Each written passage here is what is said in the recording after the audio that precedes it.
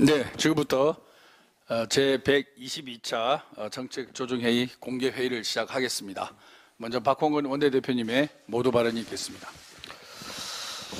정부 여당은 대통령의 굴욕 외교에 대한 국민과 야당의 비판과 분노마저 정치 공세로 몰아 폄훼를 일삼고 있습니다.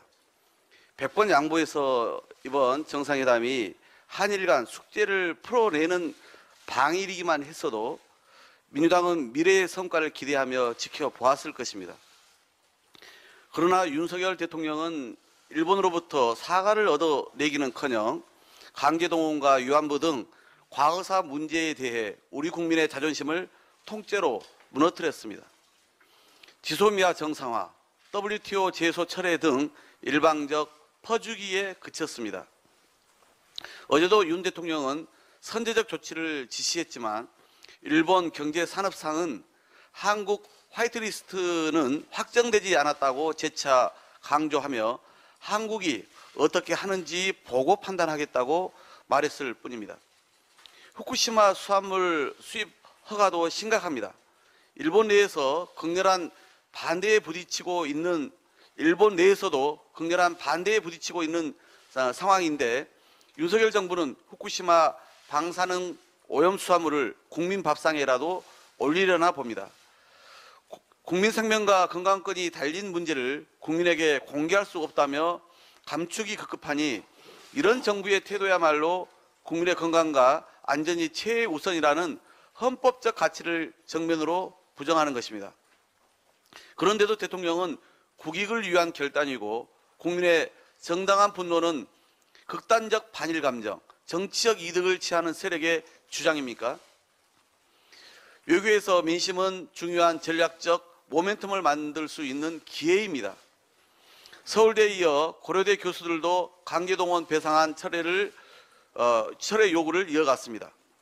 국회 또한 외통위에서 채택한 강제동원 해법 무효 결의안을 본회의에서 의결하고 성문회와 국정조사 등을 통해 입법부의 책무를 다해야 합니다.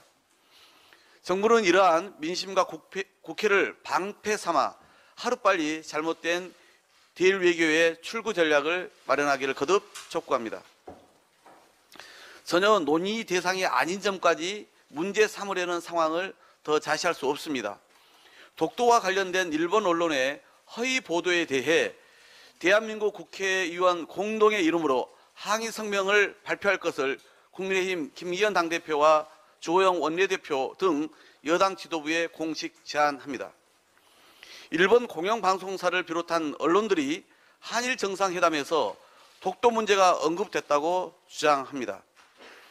이는 우리 헌법이 규정한 대한민국 영토를 가짜 뉴스로 침략한 것과 같습니다.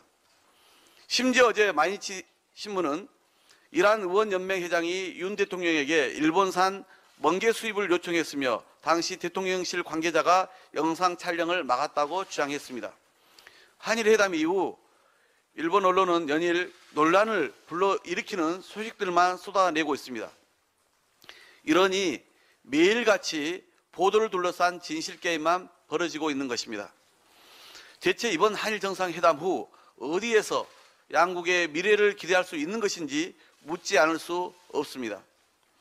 독도를 향한 일본 측의 어떠한 외교적 시비와 도발에 대해서도 우리는 단호하고 명확하게 국가적, 국민적 반론 책무인 영토의 보전 의무를 해태하니 헌무인 영토의 보전 의무를 해태하니 헌법기관인 국회가 나서서 바로 잡을 수밖에 없습니다. 만약 국민의힘 지도부가 이 제안에 응하지 않는다면 국민을 대리한 국회의 일원으로서의 명분과 자격마저 의심받게 될 것임을 명심하기 바랍니다. 국민의힘 지도부의 신속한 답변을 기다리겠습니다. 윤석열 검찰이 결국 어제 이재명 당대표를 기소했습니다. 그가 매일같이 생중계되다시피 한 수사와 망신주기, 압수수색을 경험한 우리 국민 누구라도 익히 예상한 일이었습니다. 대일 굴욕 외교로 돌아선 민심을 어떻게든 덮어보려는 윤석열 정권의 물타기 기소로밖에 볼 수 없습니다. 여기에 주 69시간제가 촉발한 노동개혁 실패와 집권 여당의 사당화 논란까지 겹쳐 대통령 직무 수행에 대한 긍정평가는 연일 폭락 중입니다. 부정평가가 임계점이나 다름없는 60%를 또다시 넘어서자 검찰이 야당 대표 기소 카드를 꺼내든 것 아니겠습니까? 하지만 아무리 정적 죽이기에 공권력을 휘둘러 봤자 돌아서 민심이 회복될 리 없습니다. 굴욕과 무능으로 점철된 예교와 국정 혼란의 폐해는 고스란히 국민 고통으로 돌아갈 것임을 명심하기 바랍니다. 배임, 제3자 뇌물 등 온갖 억지 혐의를 씌워봐야 돈 받은 자가 범인입니다. 1년 6개월간 70명에 가까운 검사가 동원됐고 수백 번의 압수수색을 벌였는데도 제대로 된 증거도 없이 죄다 범죄자들의 번복된 진술만 받아쓰기 했습니다. 대놓고 언론에 흘렸던 428억 약정설이니 대선 자금 8억 같은 검찰의 상상 속 혐의들은 모조리 빠졌습니다. 정작 부실수사로 50억 클럽은 무죄 판결이 나고 김건희 여사 주가 조작 의혹은 매일같이 증거가 새롭게 쏟아져도 손도 대지 않던 검찰입니다. 민주당은 무도한 검찰의 칼날에 굴복하지 않고 당당히 맞서겠습니다. 정의당도 윤석열 검찰의 봐주기 수사와 여당 국민의힘의 특검 반대 입장, 국회 법사위의 처리 거부 의사를 충분히 확인했을 테니 이제는 살아있는 권력을 향한 양특검 실시에 본격 동참하기 바랍니다. 민주당은 쌀값 안정화법, 즉 양곡관리법 개정안을 오늘 본회의에서 반드시 통과시키겠습니다. 민주당이 그동안 이 법의 합의 처리를 위해 얼마나 인내해 왔는지를 잘 아실 겁니다. 국회의장의 중재안을 대폭 수용해 가며 양보를 거듭해 왔습니다. 하지만 국민의힘과 정부는 무조건 반대로 일관하며 쌀값 안정화법의 개정 취지를 애곡했습니다. 정부 여당이 입법부로서 최소한의 소명 의식도 없이 마치 고장난 라디오처럼 대통령 거부권만 일삼고 있으니 민생이 파탄 지경인 것입니다. 이번 개정안은 남아도는 쌀을 국가가 의무적으로 사주자는 것이 결코 아닙니다. 정부가 일정 기준에 도달하면 쌀을 수매해야 하는 상황이 의무가 발생하니 사전에 논에 콩, 밀, 조사료 등 다른 작물의 재배를 제대로 지원함으로써 쌀 생산 면적은 줄이고 식량 자급률은 높이자는 것입니다.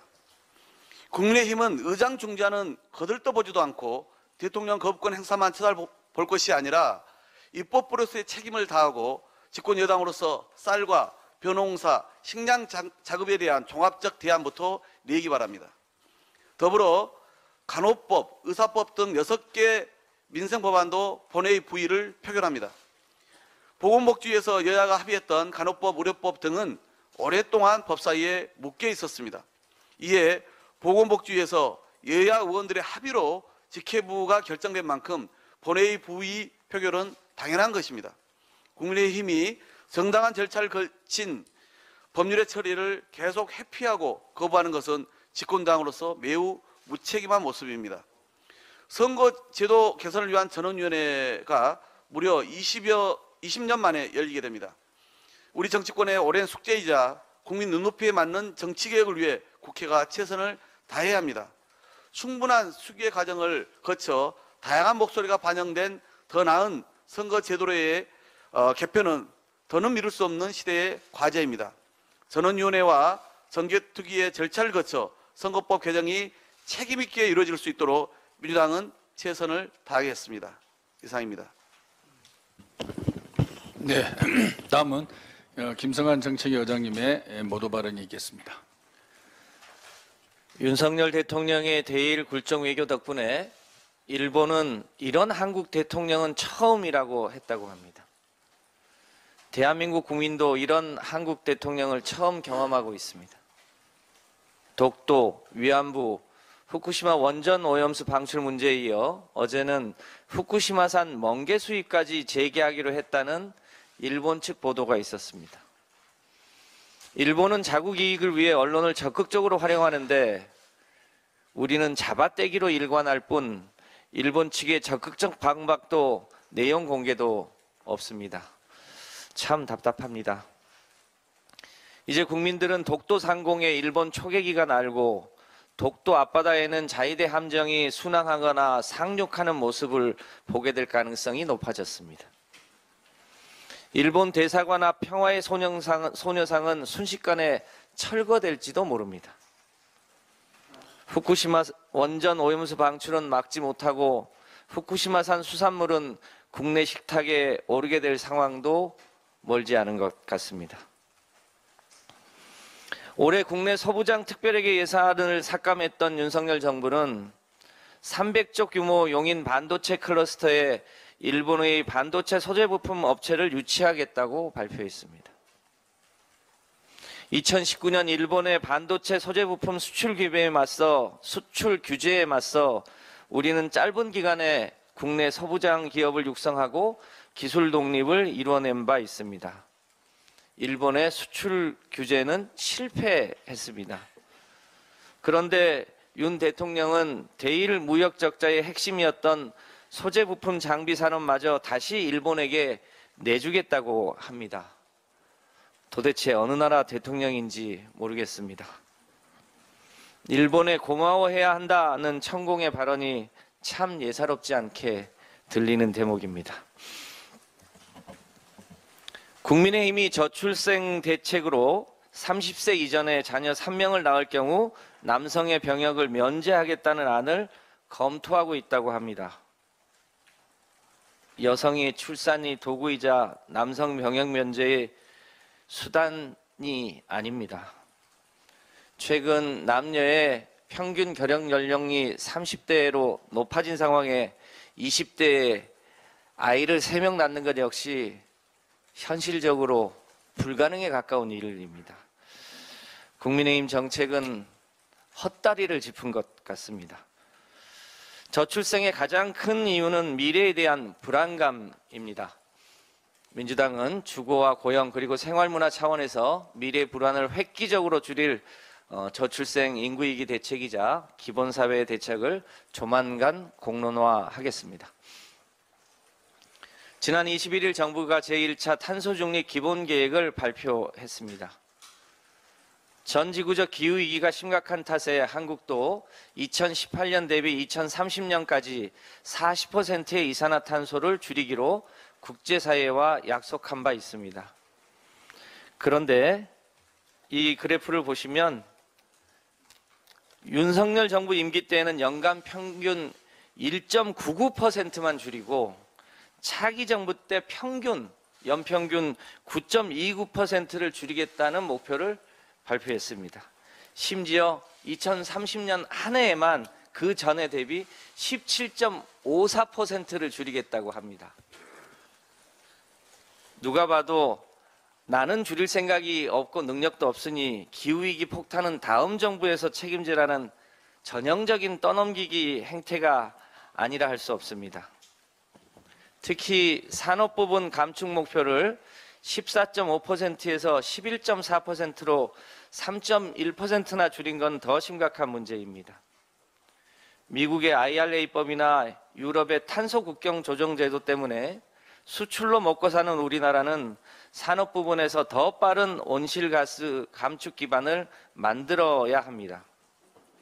그런데 윤석열 정부는 기업들에게 변하지 않아도 좋다는 잘못된 정책 신호만 주고 있습니다. 이는 중장기적으로 국내의 산업 경쟁력의 기반을 흔들고 국내 산업을 공동화하고 일자리를 줄이게 될 것입니다. 정부는 산업 쪽에서 축소된 탄소 감축분을 발전과 국외 감축 그리고 탄소 포집 기술로 채우겠다고 합니다. 하지만 정부는 2030년 재생에너지 목표를 30%에서 21%대로 축소시킨 바 있습니다. 해외에서 감축하겠다는 온실가스 양도 무책임하기 그지없는 발상입니다. 또 탄소 포집 기술은 언제 상용화될지도 모르고 비용 역시 싸지 않습니다. 앞뒤가 맞는 것이 하나도 없습니다. 기후 위기는 이제 환경 문제만이 아닙니다. 인류의 생존 문제이고 수출로 먹고 사는 우리에게는 경제 문제이자 산업의 핵심 문제입니다. 지구 온도가 1.5도씨까지 상승하는 데 남아 있는 시간은 앞으로 6년 3개월에 불과합니다. 피하거나 다음 정부로 늦출 수 없는 문제입니다. 따라서 정부는 제1차 탄소 중립 기본 계획을 전면 수정하실 것을 요청합니다. 이상입니다. 네. 네, 다음은 어, 위성권 원내 정책 수석 부대표의 현안 발언을 듣겠습니다. 천원의 아침밥 사업에 대해서 말씀을 드리겠습니다. 대학 구내식당마다 천 원짜리 아침밥을 먹으려고 새벽부터 긴 줄을 선다고 합니다. 이마저도 인원이 다 차면 발길을 돌린다고 합니다. 발길을 돌리는 학생들의 이런 뒷모습이 우리 청년들이 힘겹게 살아가는 생활상을 잘 대변하고 있습니다. 문재인 정부 때인 2017년 부터 시작된 천원의 아침밥 사업은 경제적 이유 등으로 아침 식사 결식력이 높은 대학생의 아침 식사 습- 습관화와 건강 증진을 위해 시작된 사업입니다. 2017년 10개 대학에서 1천만 원 예산을 가지고 시작되었습니다. 올해는 41개 대학에 9억, 6억 9천만 원 예산 사업으로 확대되었습니다. 지난 예산안 심사에서 우리 당은 15억 증액을 요구하였습니다. 그래서 농해수위에서는 15억이 반영되었습니다. 그러나 기재부의 반대로 최종 예산에 포함되지 않았습니다.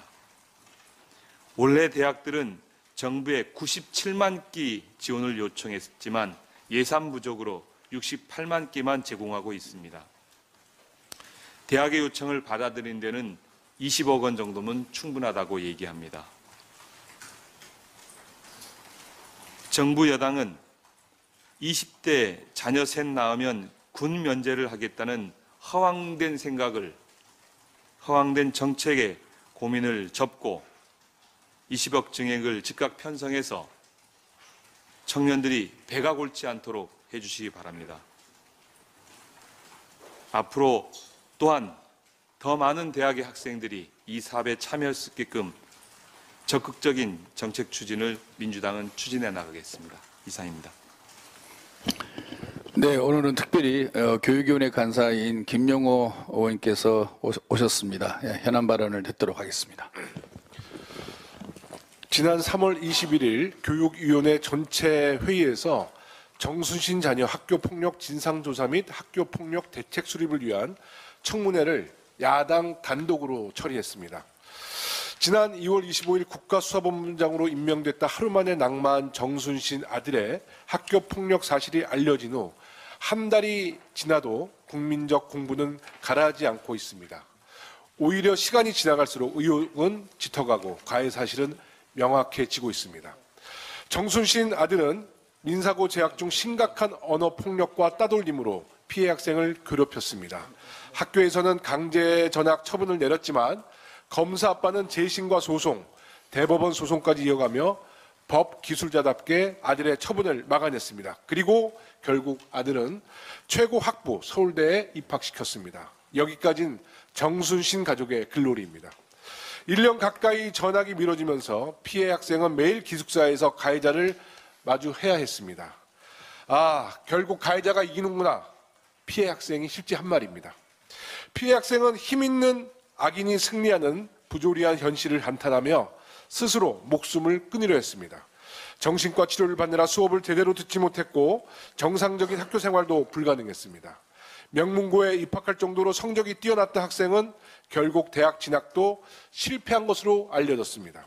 이제 시즌2는 피해 학생의 글로리 타임입니다.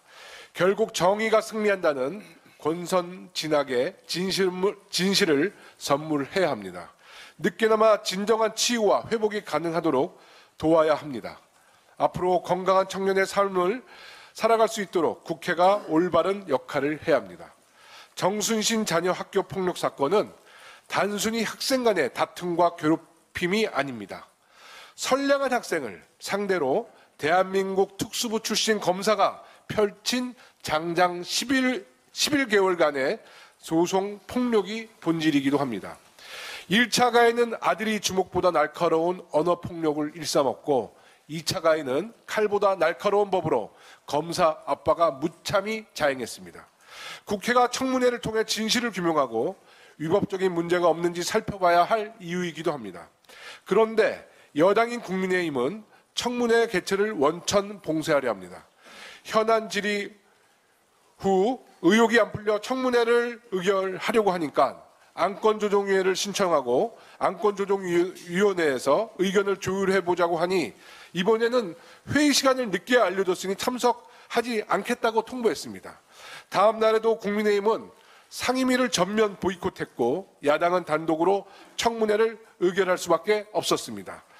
이를 두고 국민의힘 주호영 원내대표는 안건조정위, 안건조정위 시간을 국민의힘에게는 통보하지 않고 강행했다. 그러니 안건 조정위 회의는 무효다라고 발언했습니다. 이는 엄연히 사실이 아닙니다. 여당 간사와는 이미 사전에 의견을 나눴고 당일 회의 진행 의사도 알렸습니다. 국민의힘은 실체적 진실과는 다른 트집 잡기 정쟁은 그만 멈추시고 일하는 국회로 돌아오기를 촉구합니다. 이번 청문회가 피해 학생의 글로리가 될지 가해 학생의 글로리가 될지 국회의 역할이 막중합니다. 학교 폭력으로 인해 고통받고 있는 아직도 트라우마에서 벗어나지 못하고 있는 선량한 학생과 청년들을 위해 제대로 된 어른의 역할을 보여줘야 합니다. 끝내 청문회를 보이콧한다면 국민의 힘에게 절대 글로리 타임은 찾아오지 않을 것입니다. 잘 판단해 보시고 청문회 참석 여부를 알려주시기 바랍니다. 또 간단한 현안 하나 좀 말씀드리겠습니다. 어제 국토교통위원회에서 법안 심사 소위에서 도시 및 주거환경 정비법 개정안이 큰 이견 없이 통과됐습니다. 뭐 송구스럽습니다만 제가 대표한 대표 발의한 법안인데요. 이 법안은 지방자치단체의 장, 지방의회 의원 및 그 가족들이 재개발 재건축 조합 임원과 관리인이 될 수 없도록 하는 법안입니다. 부동산 관련 인허가 심사 과정에 쉽게 개입할 수 있는 지방위원이 수주와 시공, 시행 등을 요청하는 조합 임직원을 겸직할 수 있는 현 시스템을 개선해 부동산 이권 개입, 이해 충돌 가능성을 사전에 차단해야 한다는 지속이, 지적이 지속적으로 제기되어 왔기 때문에 시급히 법사위를 통과해서 본회의가 본회의에서 통과될 수 있도록 많은 관심을 가져주시기 바랍니다. 사실 이 관련된 지방위원회에 대한 전수조사는 안 해봤지만은요, 이 법안이 본회의를 통과하게 되면 이 법안에 적용되는 아마 전국의 여야 지방위원 들이 상당수가 있을 겁니다. 심적으로는 좀 불편할 수도 있고 좀 억울한 면도 있을 수 있지만 우리가 지방의회의 투명함과 더욱 깨끗한 지방의회를 위해서 또 이해 충돌을 방지하고 예방하는 차원에서 우리 전국의 여야 지방의원님들께서 적극 협조해 주셨으면 고맙겠습니다. 이상입니다. 네, 수고 많으셨습니다. 다음은 박영순 원내부대표의 현안 발언이 있겠습니다. 야당이 부끄럽다는 대통령, 국민은 야당이 부끄럽다.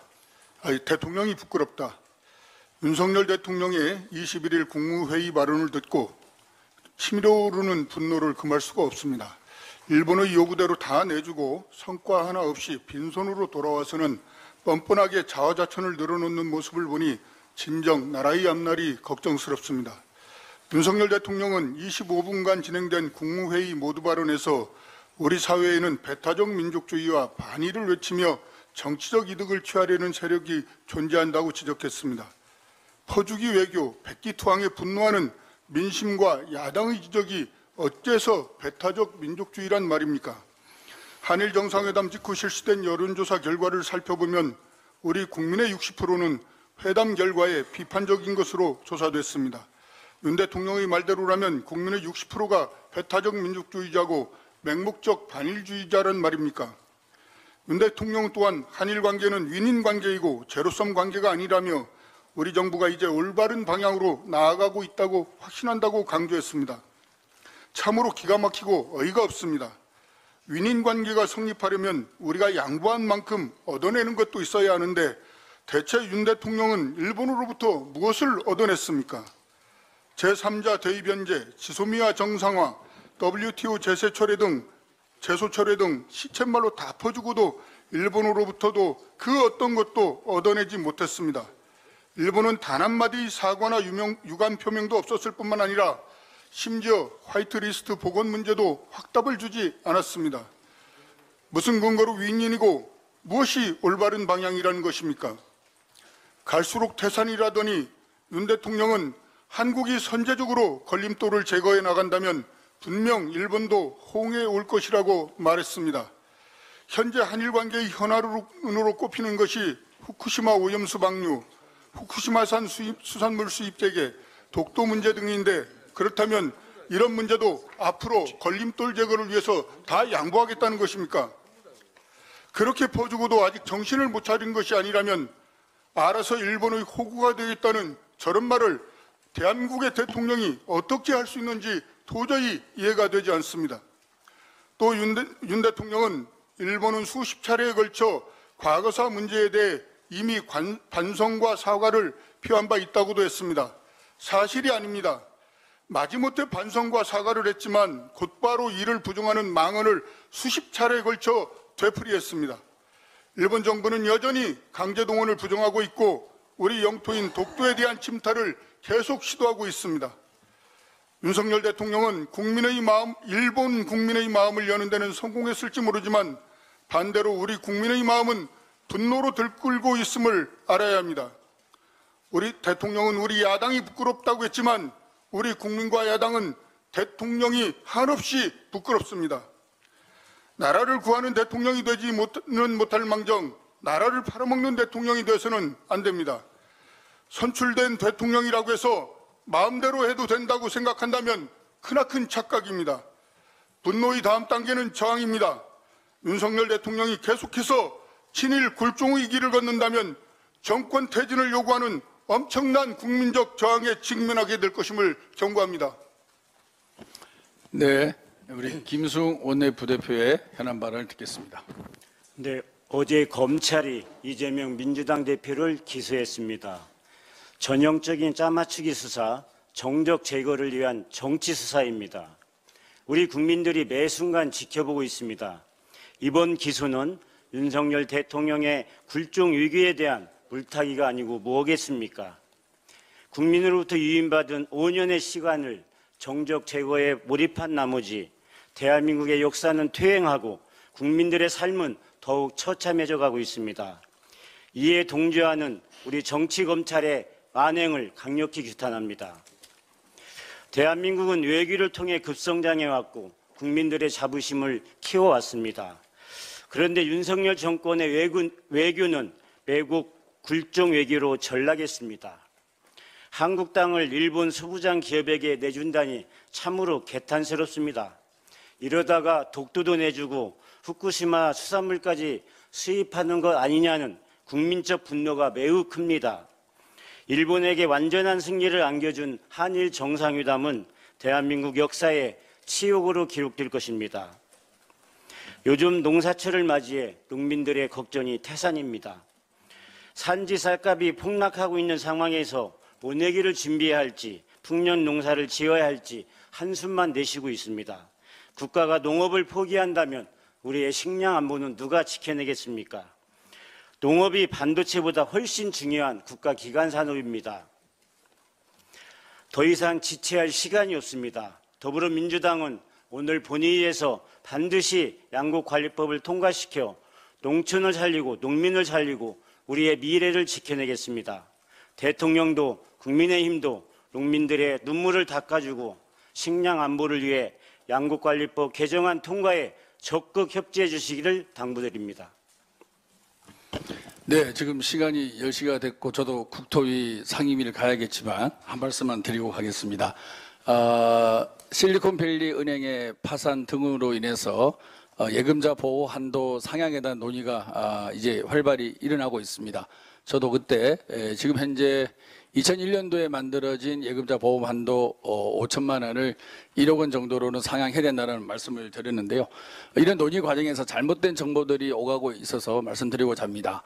어, 언론의 보도에 따르면 5천만 원 어, 이하의 예금이 98%가 되기 때문에 어, 실효성이 없다 이런 보도들이 많이 있습니다. 그거는 금융 현실을 잘 모르고 하는 보도라고 생각합니다. 왜냐하면은 여러분 어, 부모님들 보시면은 예금자 보호 한도가 5천만 원이기 때문에 예, 여러 은행과 저축은행에 5천만 원씩 나눠서 어, 예금하고 있는 것을 많이 보고 계실 겁니다. 그래서 실질적으로 쪼개기로 어, 예금을 많이 하고 있기 때문에 어, 그거는 맞지가 않다는 생각을 하고요. 그리고 나머지 2%는 어, 고액 자산가들의 예금으로 많이 논의가 되고 있습니다. 아, 이것도 사실 현실이 아닙니다. 현실은 어, 많은 직원들의 월급과 어, 퇴직금이 포함된 기업의 에, 예금이 상당 부분이 포함되어 있습니다. 다시 말해서 2%의 1억 원 이상의 2% 예금에 봉급쟁이들의 에, 월급과 퇴직금이 에, 상당액을 차지한다라는 말씀을 어, 반드시 꼭 드리고 싶습니다. 그리고 이렇게 예금자 보호 한도가 상향되면 은행이 예금 보험공사에 내는 예보 보험료가 인상될 거 아니냐? 예, 틀린 말은 아닙니다. 하지만 예보 보험료는 어, 예금자 보호 한도가 상향되는 만큼 그 퍼센트로 증가되는 것은 결코 아닙니다. 어, 예금자 보호 어, 기금이 지금 십몇 조 쌓여 있는 걸로 알고 있는데요. 어, 설계를 잘 해서 우리 서민에게 에, 부담이 되지 않는 방법으로 어, 예금자 보험료를 어, 설정 설계를 한다면 어, 부담을 줄일 수 있다고 생각합니다. 아, 중요한 것은 시기입니다. 지금 정부가 8월까지 용역을 발주해서 이러한 의사결정을 하겠다고 발표를 했습니다. 아, 이런 그 외국의 은행의 문제, 또 국내 부동산 PF나 가계 대출의 문제 이 등으로 인해서 예금자 보호의 에, 시급성이 에, 다가오고 있습니다. 8월에 결정을 한다면 누가 보더라도 아주 느린 의사 결정이라고 생각할 수 있겠습니다. 어, 객관적인 데이터는 이미 다 나와 있는 것입니다. 중요한 것은 어떠한 방향으로 어떤 마인드로 정책 결정을 하느냐는 어, 결단의 문제라고 생각합니다. 어, 8월까지 가지 않아도 충분히 해결해야 될 문제이기 때문에 에, 소속히 정부가 입장을 정리해 주시기를 촉구드립니다. 네, 이상으로 어, 122차 정책 조정의 공개 회의를 모두 마치도록 하겠습니다. 감사합니다.